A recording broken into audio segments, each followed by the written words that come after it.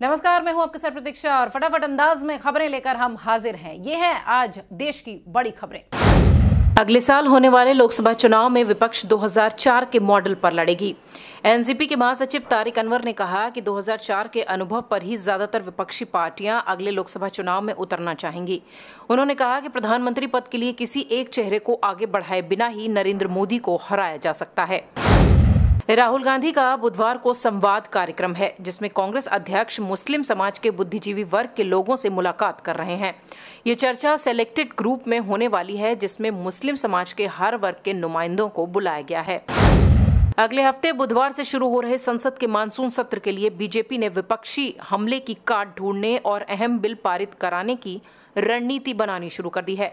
इस क्रम में मंगलवार को बीजेपी अध्यक्ष अमित शाह ने वित्त मंत्री अरुण जेटली के साथ भी मुलाकात की।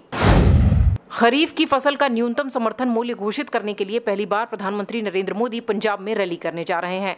मुक्तसर के मलौट की इस रैली के ज़रिए पीएम मोदी की नज़र मुख्य तौर पर किसानों पर होगी।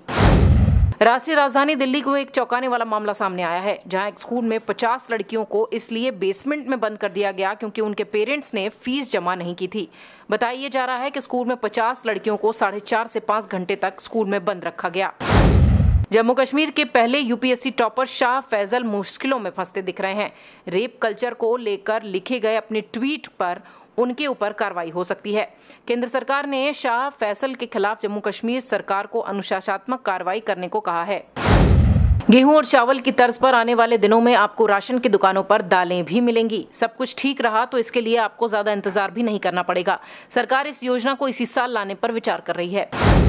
प्रीति जिंटा की company KPH Dream Cricket Private Limited पर कोर्ट में केस चलेगा। चंडीगढ़ के डॉक्टर सुभाष सतीजा का आरोप है कि उन्होंने अपनी एक कोठी कंपनी को रिहायशी के लिए दी थी, जिसमें दफ्तर खोल लिया गया। ब्रिटेन की सूचना रेगुलेटर ने बुधवार को कहा कि वो फेसबुक पर डेटा लीक करने के एवज में फाइन लगाना चाहती है। उन्होंने कहा कि उनके विभाग ने ये पता किया है कि कैसे कैम्ब्रिज एनालिटिका ने अनुसूचित तरीके से करोड़ों लोगों के डेटा का इस्तेमाल किया। अमेरिकी राष्ट्रपति डोनाल्ड ट्रंप ने बुधवार को 200 अरब डॉलर के चीनी आयात पर 10 फ़ीसद टैरिफ लगाया है। एक्सपर्ट्स के मुताबिक अमेरिका के इस कदम का असर एशिया के शेयर बाजारों के साथ साथ पूरी दुनिया की अर्थव्यवस्था पर देखने मिल सकता है। तो ये थी देश की बड़ी खबरें जो हम फटाफट अंदाज में आपके सामने पेश कर रहे थे। फ़िलहाल धन्यवाद, नमस्कार।